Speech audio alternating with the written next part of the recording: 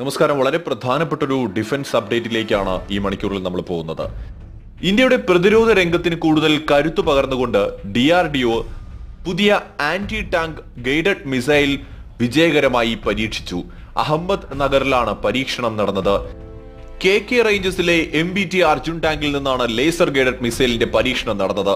മൂന്ന് കിലോമീറ്റർ അകലെയുള്ള ലക്ഷ്യത്തെ വിജയകരമായി തകർത്താണ് ആന്റി ടാങ്ക് ഗൈഡഡ് മിസൈലുകൾ കരുത്ത് കാട്ടിയത്.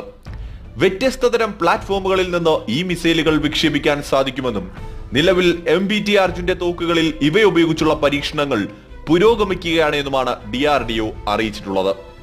ഇന്ത്യൻ പ്രതിരോധ മേഖലയുടെ കരുത്തുയർത്തി കഴിഞ്ഞ ദിവസങ്ങളിൽ മറ്റൊരു മിസൈൽ കൂടി ഇന്ത്യ വിജയകരമായി തന്നെ പരീക്ഷിച്ചിരുന്നു. അതിന് തൊട്ടു പിന്നാലെയാണ് ദിവസങ്ങൾക്കുള്ളിൽ ഇപ്പോൾ പുതിയൊരു മിസൈൽ കൂടി വിജയകരമായി പരീക്ഷിച്ചിരിക്കുന്നത്.